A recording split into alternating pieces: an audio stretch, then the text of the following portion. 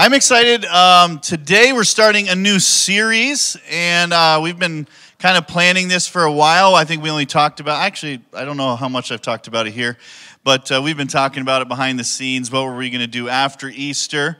And if we didn't mention a lot of it, but we're going to be doing a series on Genesis to Revelation, not the entire Bible in between. And it's all today. It's going to be a really long service. Um, no. But Genesis to Revelation, the heart behind this series is, is two parts. One is where did we begin as humanity? What was God's intention for us? But then where do we kind of end? But it's not really the end. Where's the end of what we know for a new beginning? And that's Revelation. And, you know, over these last couple of years, I think I've had more questions about the end of the world than I've ever had. And uh, just so you know, if you come and ask me those questions, you often get this answer I don't know. because some of this is just a mystery. But there is stuff that God teaches us through Genesis and Revelation that I think are extremely important. So we're going to be on this series for quite a while. And the series title is actually called From Garden to City. And the reason for that, we're going to kind of open it up today um, as I read through Genesis 1 and 2 and a little bit of Revelation, is that we start in a garden. We see this story of humanity start in a garden setting, but we see in Revelation 21, 22 at the end there that it ends in a new city. And there's something about why it's like that. And I want we're going to kind of open that up. That's going to be a lot of the point of as we go through, but we're going to learn a lot. There's going to be a lot of topics that we hit through Genesis. If you've read Genesis at all, it just shows a lot of who we have always been. You know, there's a reality that this, we're just cyclical people. We might have new technology, but we act the same way we've been acting since the beginning of time. And it, it, teaches us about humanity. It teaches us about what we were designed for, but it also teaches where's our downfalls and what is God trying to do through this whole process. And so this is going to be kind of a long series. I actually will tell you, I don't know how long it's going to be, but I, I can see it at least going up almost to August. There's going to be some breaks in there. We're, we have some guest speakers. Mark Estes is coming in a few weeks. Um, we have some people that are going to be coming through the summer, so we'll have some breaks, but we're going to be sitting on this topic for a while. And the reason is I don't want to rush through because it's really important. Because if you don't know why you're here, or what God's original intentions were for humanity, sometimes it's hard to actually see through the clutter of the modern world to our purpose and design. And we want to land on that. We want to know who we are as humans, who we are as followers of Christ, and what is the purpose and design and intention of our lives. So, awesome. If you have a Bible, I'd love for you to open to Genesis 1. It's really easy, it's at the beginning. And uh, if you don't have a Bible, we always want to remind you we have these couple carts in the back. Those Bibles are for free. If you don't have one, you can take it home. If you want to borrow it for the day, feel free to borrow it for the day.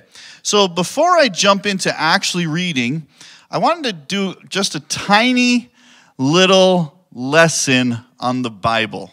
Because every time we start to read through the Bible or we do a book or, or kind of do a little bit more on the exegetical side of things, which just means we're tearing it apart scripture by scripture as we go, um, which isn't exactly what we're doing. I, I want you guys to understand some of the background of the Bible if you don't. So, I'm going to, I often read, or almost always read, out of the New Living Translation of the Bible. If you don't know anything about translations, you're going to get a small course real quick.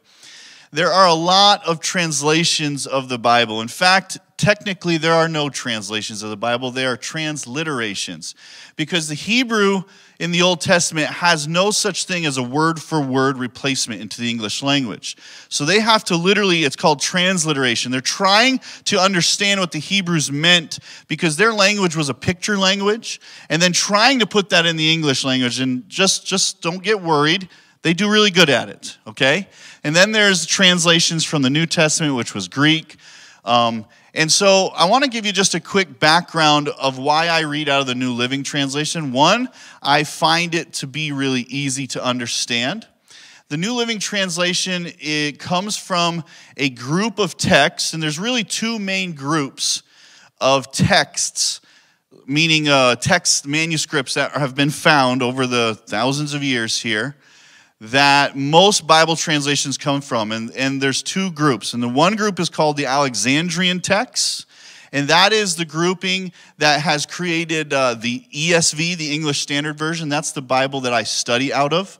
And then, um, and that would be a more, what they would say, word for word translations. They're trying to do their best to be as literal as possible. Whereas the New Living Translation would be considered a thought for thought translation.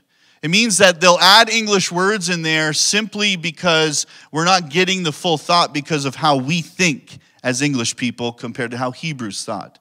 Now, there's, it's still very good. It's still very, you know, safe. No, don't think that like there's unsafe translations. Well, there's a couple that I just wouldn't call translations. The message is not a translation.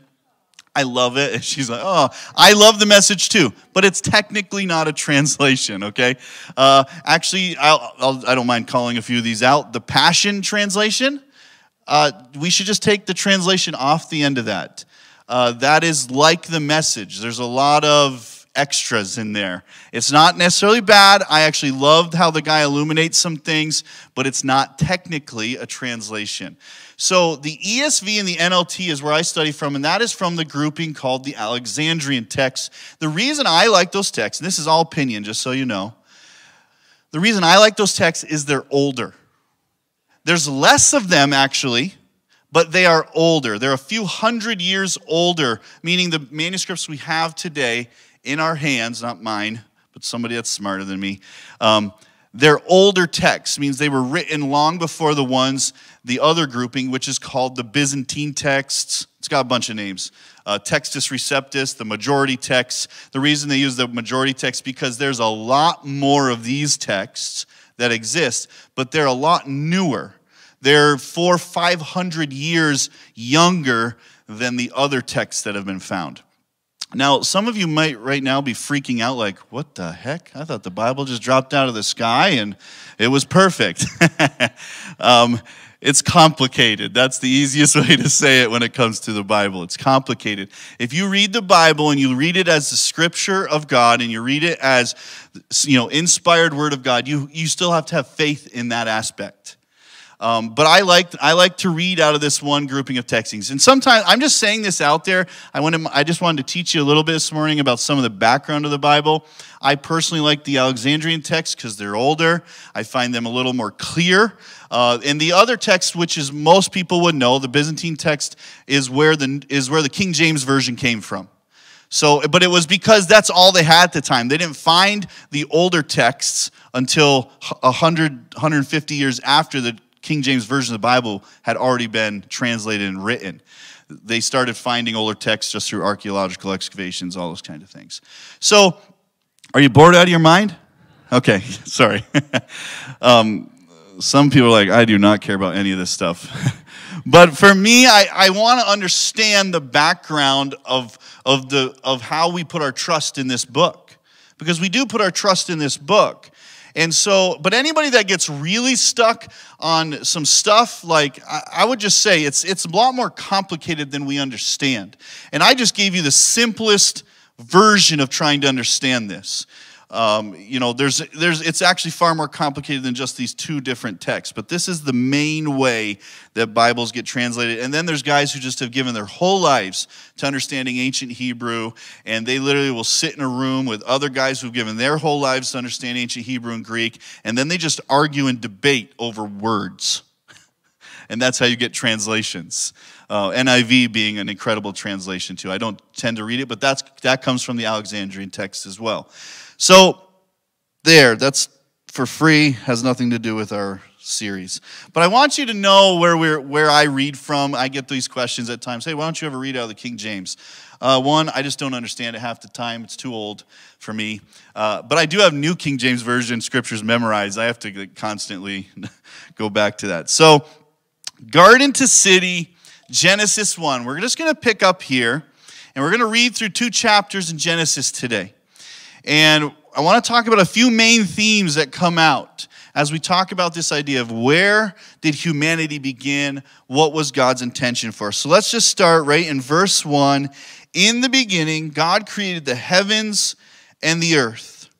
The earth was formless and empty, and darkness covered the deep waters, and the Spirit of God was hovering over the surface of the waters. So we see this creative moment begin where God is creating things. And in verse 3 it says, Then God said, Let there be light. And there was light. And God saw that the light was good. Then he separated the light from the darkness, and God called the light day, and the darkness light. Night and evening passed, and morning came, marking the first day. Then God said, Let there be a space between the waters to separate the waters of the heavens from the waters of the earth. And that is what happened.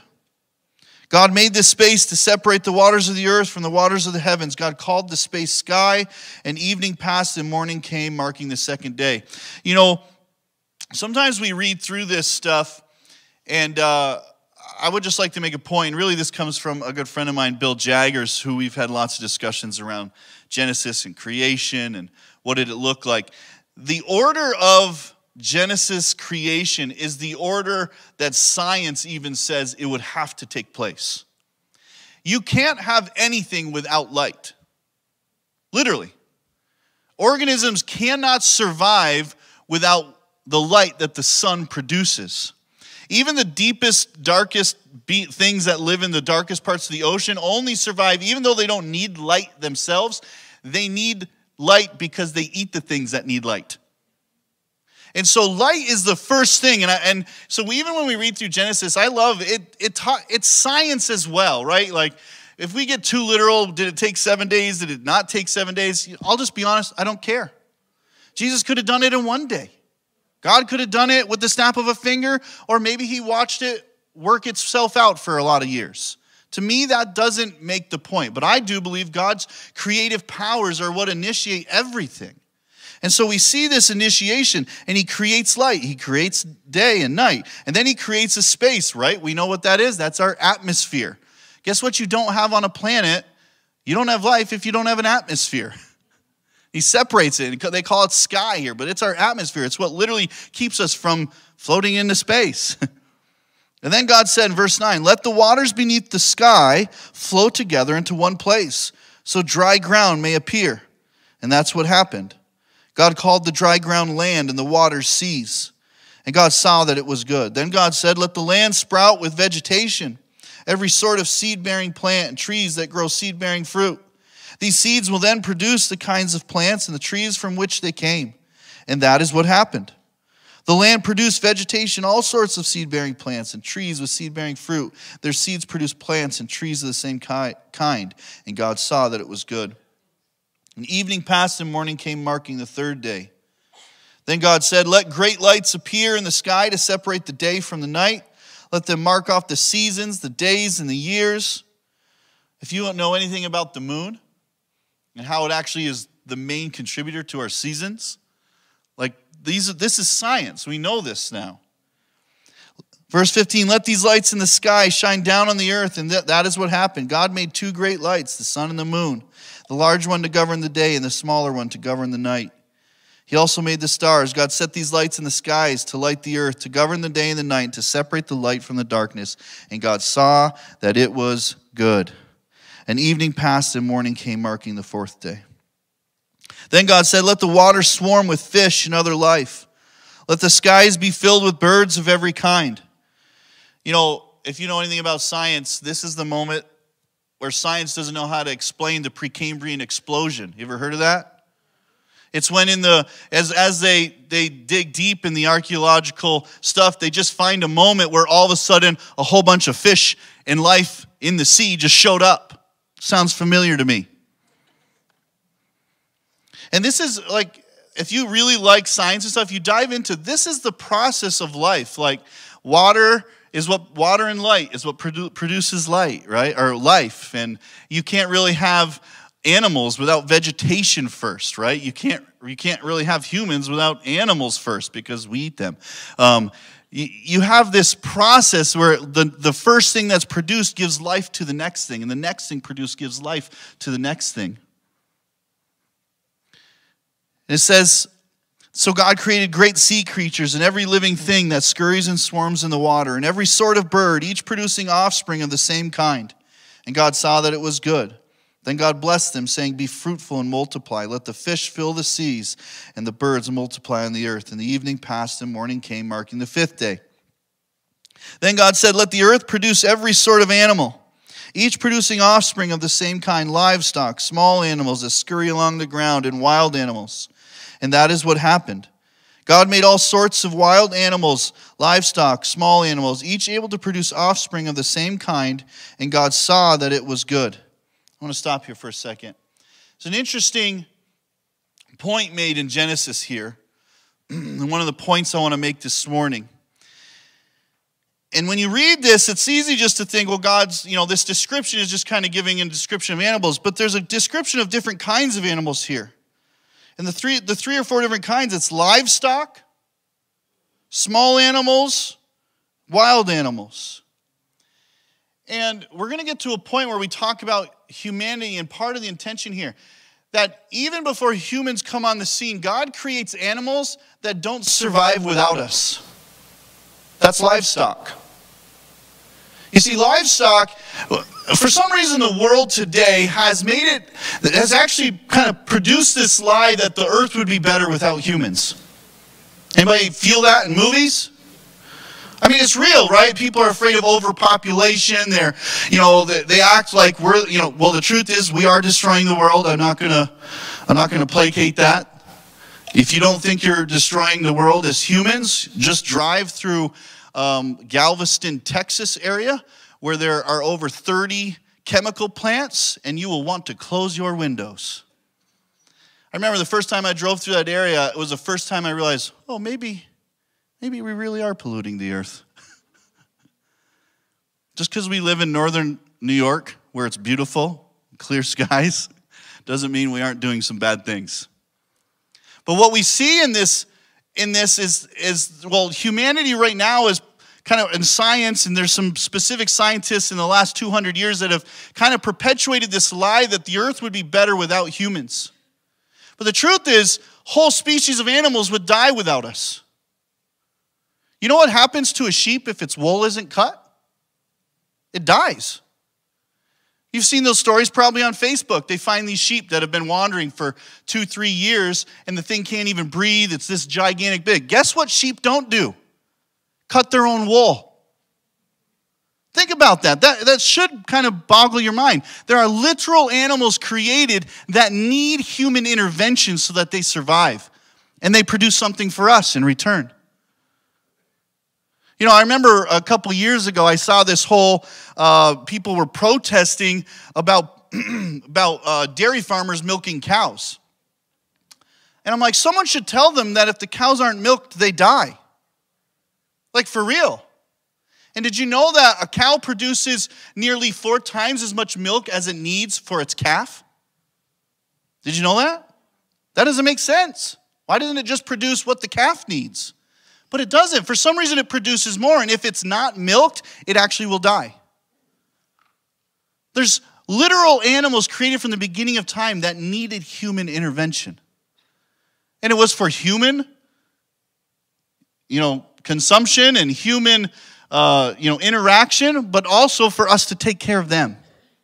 And so there's this idea that we need to make sure we understand humanity in its right way is supposed to make the earth a better place. It's supposed to actually shape it. The earth would not be better off without us. You're quiet. Then God said, Let us make human beings in our image to be like ourselves. Very interesting statement here.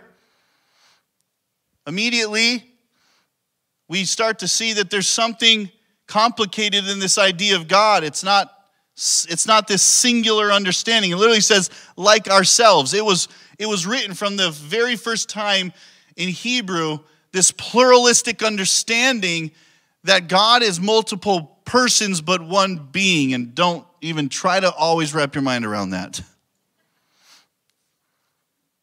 But here they, here they are, you know, and we understand it now the Father, the Son, the Holy Spirit. And they're saying, let's make humans like ourselves.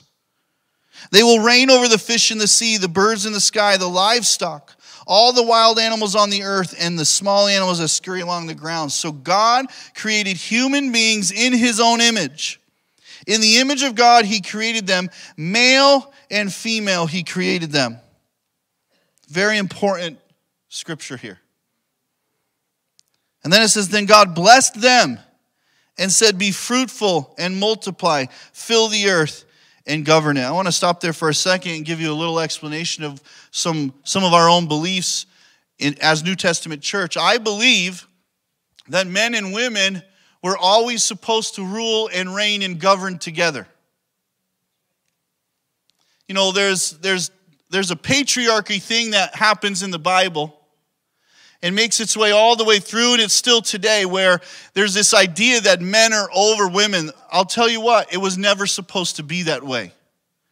We'll find out next week when I do chapter three that the curse is women trying to subdue men and men lording over women. Both of those are the curse. You see, we were created in God's image, both male and female. He created them. And then he said, Let them rule and reign and govern. See, we don't rule and reign and govern the earth well unless both of us are doing it. We're, we're all called, every one of us, and, and not to get into weirdness, but I believe in only two genders. And male and female, when they work together in the roles that God has designed them to do, they actually have an authority together to rule and reign and govern and create and shape a world that doesn't exist today because we have never done that well. But that's the design. If you don't like it, ask God about it when you get to heaven. It's Genesis 1 the first chapter, he puts this purpose into men and women. And he says, Listen, I didn't just create you just to exist. And, and the first thing he creates us to do is to actually look like him, to bear his image, to be like them. But then he says, Now I'm going to give you a job and a purpose, a design for why you exist. And it's to rule and reign and govern this thing that I just created. And we're called to do it together. So it says, Fill the earth and govern it, reign over the fish in the sea, the birds in the sky, and all the animals that scurry along the ground. Then God said, Look, I've given you every seed bearing plant throughout the earth and all the fruit trees for your food. And I've given every green plant as food for all the wild animals, the birds in the sky, and the small animals that scurry along the ground, everything that has life. And that is what happened. Then God looked over all he had made, and he saw that it was very good. The evening passed and morning came, marking the sixth day. So let's jump to chapter 2. So the creation of the heavens and the earth and everything in them was completed. And on the seventh day, God had finished his work of creation, so he rested from all his work. Listen, another point here, just lots of points are going to be made in these messages. If God gets tired, you get tired. If God needs rest, after working for six days, you need rest. We, we live under an illusion, I think it's especially as Americans, that if we work more, we'll produce more. But the truth is, there's something built into our design that requires rest. It's why you literally can't stay awake for very long. The older you get, that seems to be earlier in the day. But there's this thing built into us. We're, we're, we're meant to rest and be beings of rest. And I, I see this moment with God. I'm like, geez, if God takes time to rest, man, we should be serious about taking times to rest in our lives. And I think we, we kind of combat this Western mentality that's like work more, produce more, achieve more, get more done. And, and it's like you're always in a race, either it's with someone else or a race against yourself to just achieve the most things possible. But there's a place where rest is meant for our lives. If we're like God and God rests, we rest. It said, And God blessed the seventh day and he declared it holy because it was the day when he rested from all his work of creation. This is the account of the creation of the heavens and the earth. And then we get another kind of account which gives us a little more insight. It says, When the Lord God made the earth and the heavens, neither wild plants nor grains were growing on the earth the Lord God had not yet sent rain to water the earth, and there were no people to cultivate the soil. Instead, springs came up from the ground and watered all the land. Then the Lord God formed the man from the dust of the ground. He breathed the breath of life into the man's nostrils, and the man became a living person. Then the Lord God planted a garden in Eden in the east, and there he placed the man he had made. The Lord God made all sorts of trees grow up from the ground, trees that were beautiful and that produced delicious fruit. In the middle of the garden, he placed the tree of life and the tree of the knowledge of good and evil. So we see these two trees that are pointed out. It says, Then a river watered the garden and, and then flowed out of Eden, divided into four branches. The first branch called the, the Pishon. I know that sounds bad. Flowed around the entire land where gold is found. The gold of that land is exceptionally pure, aromatic resin and onyx. And the second branch, called the Gihon, flowed around the entire land of Cush. The, the third branch, called the Tigris, flowed east of the, the land of Ashur. And the fourth branch is called Euphrates. You know, there's some real significance in the names of those things. Um, they, they kind of all mean similar stuff. The, the, the one that sounds like I'm saying piss on, but I'm not, um, means increase. Sorry. yeah, I'm still childish. It means increase.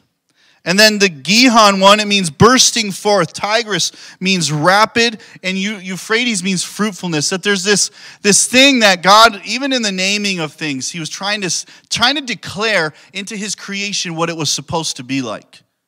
And you see it through the creation of the other animals and the fish that everything that he made is supposed to expand. Everything is supposed to multiply. Everything is supposed to actually increase. And that there's a place where, where everything he's created is supposed to do that. And especially humanity, we, we have the exact same image that God has, and he's the great creator. So, what are we supposed to be? Creators. That we're supposed to create things around us that weren't there before. You know, the, the reality of like God sets up this planet and he sets up these people and he, he sets up this world, but he give and he doesn't do everything for us. He just gives us a lot of raw materials. But then he says, Here, I'm gonna, I'm gonna ask you to do something with this. And he puts the image of himself on us, which is this creator image, that we're supposed to create the world around us. I think it's why there's, I mean, you see it in, in the world today. There's some people that just seem to really take hold of this identity and they run with it, even when they're not Christians. One of these guys is Elon Musk. I mean, we're all knowing about him now because he just randomly buys Twitter. But I like watching this guy. I follow him a lot because I've never, it's just rare to find someone who literally dreams so big and then somehow accomplishes them.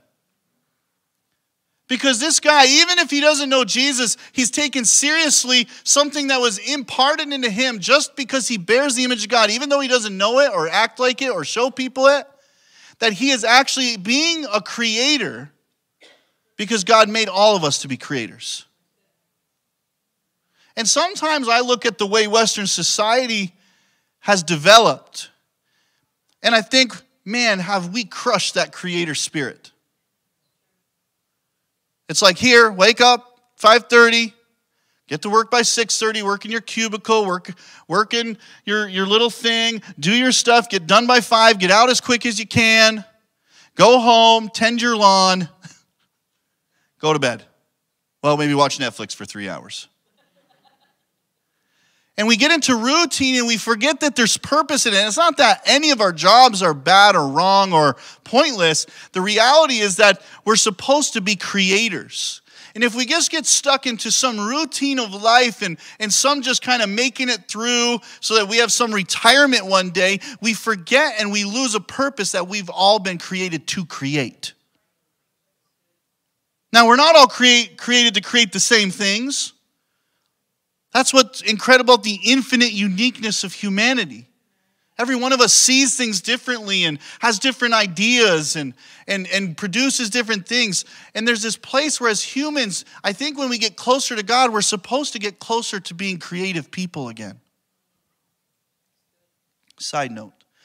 Verse 15 The Lord God placed the man in the Garden of Eden to tend and watch over it. But the Lord God warned him, You may freely eat the fruit of every tree in the garden except the tree of the knowledge of good and evil. And if you eat its fruit, you are sure to die. I want to stop there. I, have often preached on this verse. God placed the man in the Garden of Eden to tend and watch over it. That just to remind us, and I've said it a number of times even this morning, God creates man and he's in right relationship with God immediately. There's no sin in the world yet, there's nothing wrong happening, but he's in right relationship. That's not all there is, there's purpose too.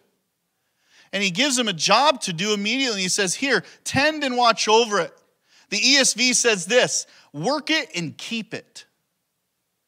And when you look up in those words, you try to understand the definition of that tend and watch and work and keep. I wrote it in your notes a little bit. It means to work, to serve, to shape, to cultivate. We're called to shape the world we're in. It's actually why it starts in a garden but ends in a city. Now, listen, I don't want to live in a city. I hope there's rural areas in this city. But if you do you go to a city? I, I don't know about you, but my dad's in infrastructure. He builds bridges and highways. And whenever I go to a city, I literally marvel how are we capable of this? Skyscrapers. I've been to the Burj Khalifa, the tallest building in the world. It's got 168 stories. I went to the 148th floor because just super rich people own the floors above that.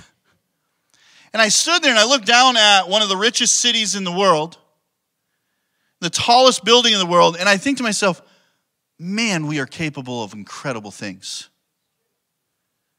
And that's part of the point. When we see this begin in a garden where you have this raw material understanding of the world, but God calls us to shape it and actually to create something even better than what was the Garden of Eden. I've heard people talk about heaven like, oh, we're going to go back to the Garden of Eden. I'm like, no, we're not going to go back to that. That'd be weird, first of all. There's no clothes, even.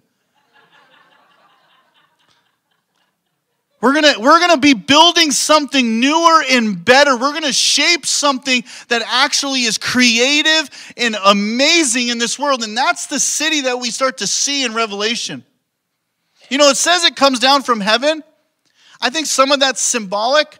I actually believe we build it. I hope I literally get to put my hands on whatever the materials are of that city and build it. I like to build stuff, if you don't know. That there's a place where God calls us to shape something, and it's why it starts in a garden and ends in a city. Now, what we've realized after chapter 3 of Genesis, we're not going to get there today, is that we screw things up. And we get misguided and, and we, we make poor decisions. And that's why, even in the world today, we have done things to damage the very creation that God's called us to cultivate and shape.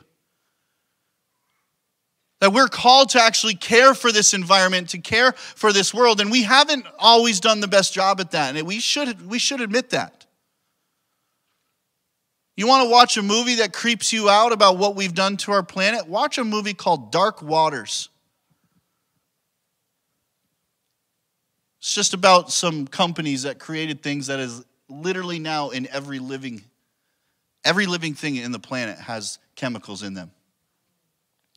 I would tend to think that's probably not God's design. and there's a place where we've messed it up, but we're going back to a place where God's going to restore all things to his intention, but we are called to shape the world in which we live. This is the design of humanity from the beginning of time.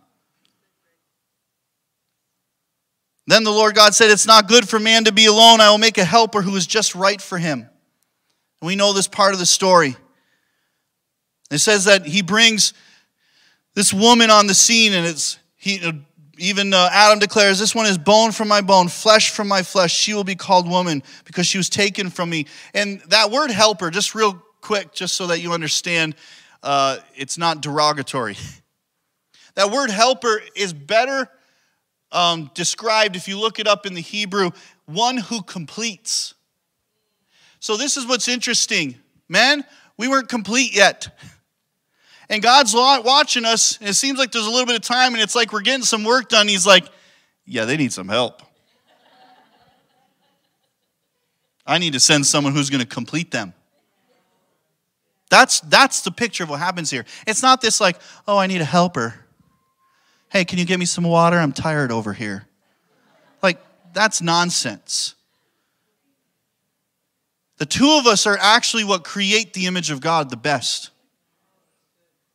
We're called to govern together. We're called to work this earth here. We're called to shape it together. So now I want to turn to Revelation. I want to kind of finish on this note. So we see this picture of a garden. I'm not going to get into where we mess it up yet. We'll, we'll pick that up next, next uh, message. So we start in this garden. We start in this place where God's created this incredible place for us and He gives us everything we need in it. Of course, He does create the opportunity for us to reject it with that darn one tree. Someone should have cut it down. But it's there. You know why? Not because God wanted us to choose it, but because He had to give us choice. You see, creation without volitional will isn't really creation at all, it's control.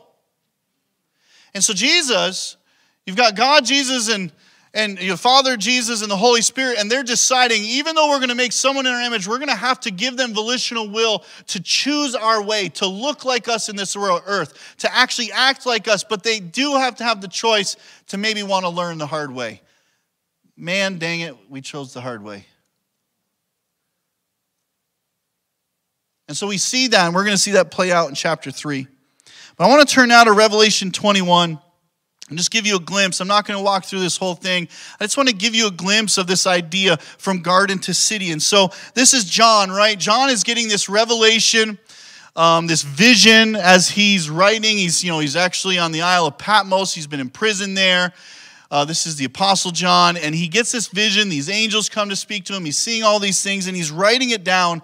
And this is where we pick up in verse 1 of chapter 21. He says, Then I saw a new heaven and a new earth. For the old heaven and the old earth had disappeared, and the sea was also gone. And I saw the holy city, the new Jerusalem, coming down from God out of heaven like a bride beautifully dressed for her husband. I heard a loud shout from the throne saying, Look, God's home is now among his people. He will live with them and they will be his people. God himself will be with them. He will wipe every tear from their eyes, and there will be no more death or sorrow or crying or pain. All these things are gone forever. The thing I wanted to point out, of maybe the biggest point from Genesis 1 and 2, all the way to this moment in Revelation where this new city, this city of God, comes down, is there's two points here. In the, in the garden, there was relationship with God where He actually resided with them. You know, we see in, in chapter 3, it says He walked with them in the cool of the day. I can't even imagine what that was like. To walk with God beside you in the flesh, seeing Him, feeling Him. And then we get all the way to Revelation, and there's this thing that happens, right? We know sin comes in the world, this separation between us and God comes in the world. And then you even see a few other instances throughout Genesis we're going to notice where God shows up literally in person, in being. But then it gets rarer and rarer and rarer to the point where none of us have probably ever seen God physically. And it's like we're all looking forward to that day when that's going to be our reality, when this city will be our reality. And this declaration from God Himself it says, Look, my home will now be among them. That's what He has, that's His desire for us. You see, God's desire was always to live with us, to reside with us, to be with us in every situation, in every circumstance. And we see even in John 14, when the Holy Spirit gets sent, he says, I'll come and make my home within you. There's a place that we don't have to wait till heaven to have Him reside within us. But there's also this looking forward to a place where He's literally with us in being, in person. And though we look forward to that day, we don't want to wait till that day, right? You see, what I don't want to do is show up on some new city's doorsteps or the gates of heaven or however that thing's going to look and, and have to introduce myself. I'm not sure it's going to go well for you at that point. I want to have I want to know that I've already lived with him. That I've invited him into my life, into every area of my being, into every area of who I am, into every decision, to every circumstance. I don't want to wait till the end to have God reside with me. I look forward to the moment when it's going to be more real than I can even imagine. But right now, I need to make God's home in my heart. And I want to give an opportunity right now if if you're in this place, you're watching online and you you think to yourself, I don't know if I've ever really let God into my heart. I don't know if I've ever really let him into those deepest places. You know, can we stand right now? I'm just going to pray. But if you're saying, I don't know if if I've let him in in that way, I'd encourage you right now, start. Invite him. See, that's what salvation is. It's it's something he's already done. He's done the work for it on the cross. We, we talked about it on Easter all the way leading up. He's done the work. There's nothing separating you from him anymore. You just have to receive his grace over your life, and then he can come and literally live with you. I don't know what's better than that. That the God of this universe would want to make his home within us, would want to walk with us and be with us. so I want to give an opportunity right now. If that's you, I'm going to ask you to repeat this prayer after me. I'm going to ask everybody to say it, just that way we, we get everybody anyway. So I'm going to ask you, let's, re, let's repeat this prayer. God, we thank you for what you've done. We thank you for what you're doing. But we want to invite you in. We don't want to hold you at a distance. We want you close. So we receive your grace today. We receive that salvation today. And we ask you, come and make your home in our heart. God, I pray right now that you would touch every person in this room, every person online. God, for those who maybe are whispering that prayer for the very first time in their life, God, let it grow deep inside them. Let that seed take root within them and do something within them, transform them to who they were called to be. God, for those of us who have been following you, God, I ask that we would represent you well, that we would actually go back to bearing the image of God well in this world. That we would be reminded that when people look at us, it isn't just us they should see, they should see you. So, Jesus, I ask you, shape us into what you've created us to be so that we can be those that shape the world into what you desire it to be. God, we thank you that your intention was always for relationship, for purpose. God, we ask you to draw us back into relationship and purpose. In Jesus' name, amen. Amen. What a great message. I know I'm challenged um, to just be who I was created to be, right? To remember that I have the living God inside of me. And so I was reading a devotional this week, and it was about um, Queen Esther, and just, you know, she was born for such a time as this. And I just want to say to you, you were born for such a time as this. I was born for such a time as this. And you know what? I don't want to live a mediocre life where I'm just going along comfortable. I'm challenged today to say, okay, God, what does that mean for me that I was born for such a time as this? How am I supposed to change the world? How am I supposed to be creative? How am I supposed to re- represent that the living God is living inside of me? So let's this week just remember who we are, remember who's living in us. That's the most important thing that the you know, the God of the heavens, the God of the earth, He lives inside of us. So we have resurrection power living inside of us. That should change everything. Everywhere we go, the atmosphere should change because we're there and He's living inside of us. So just have a great week. Be blessed. If this is your first time here, or maybe you said the prayer for the first time, there's going to be people in the welcome room um, to just talk with you, and there's going to be donuts and coffee. Um, so stop in there if you feel led, and um, just have a great week.